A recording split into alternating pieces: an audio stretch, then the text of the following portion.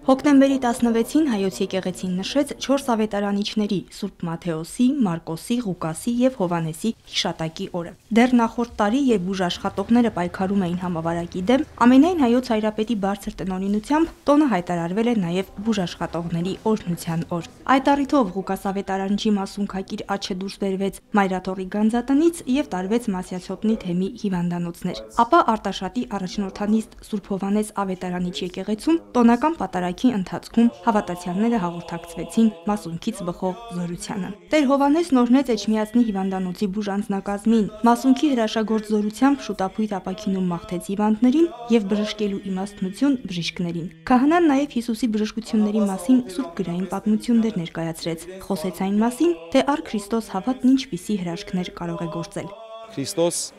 ով մարդկության մեծագույն բժիշկն է նաև Այդ շնորը վստահաբար փոխանցել է նաև մեզ։ Աստված մարդուն ստեղծել է իր պատկերով եւ նմանությամբ։ Եվ այդ պատկերի եւ նմանության մեջ բժշկությունը իր կարևոր տեղն ու դերն ունի։ Աստված ինքը մեծագույն բժիշկն է եւ այդ շնորը փոխանցել է։ Այսօր բուժաշխատողները աստվածային շնոր են կրում իրենց մեջ։ Հիվանդների համար բոլոր դեղորայքները, բոլոր դեղորայքները կօգնեն այն դեպքում, եթե հիվանդը հույսով, հավատով ընդունի բժշկի բոլոր կատարած նշանակումները։ Բժիշկը պարտավոր է հոգատար սրտացավ վերաբերմունք ցույց տա, որpիսի հիվանդը ոչ միայն դեորայքից, այլ նաև իր հոգեկան լիարժեք հանգստությունը եւ բուժումը կարողանա ստանալ։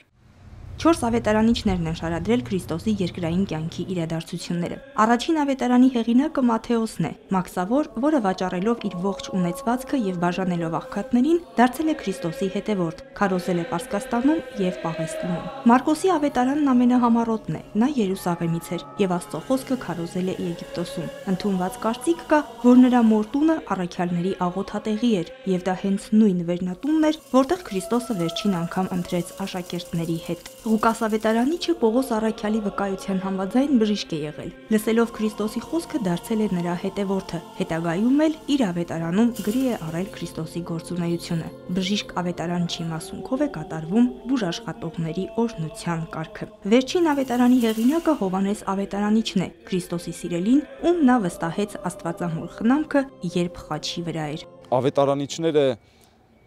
երևի թե մարդկության պատմության մեծագույն գործն են կատարել։ Լիներով առաքյալներ հանձն են առել գրելու Քրիստոսի խոսքերը փոխանցելու մարդկությանը։ Այլապես Քրիստոսի խոսքերը այսքան տարիներ հետո այսքան մաքուր եւ անաղարտ չպիտի հասնեին մեզ։ Մենք այդ ավետարանական падգամի յուրաքանչյուր քրիստոնյա ինքը ինքն իրենով արդեն իսկ մի ավետարանիչ է, քանի որ այդ ավետարանի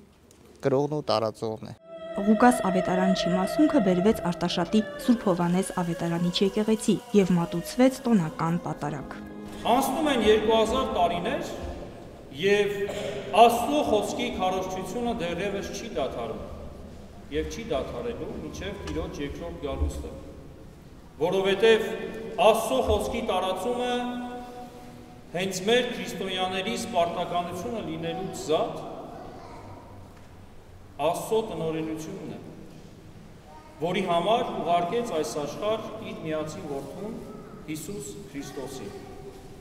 Պատարակի ավարտին քահանաները մասունքով շրջեցին թեմի մյուս հիվանդանոցներում եւս սրբի բարեխոսությունը խնդրելով հիվանդների եւ բուժաշխատողների համար։ Եկեղեցու Բաքում ակունք ազգագրական համույթի կատարումներով եզրափակվեց տոնական օրը։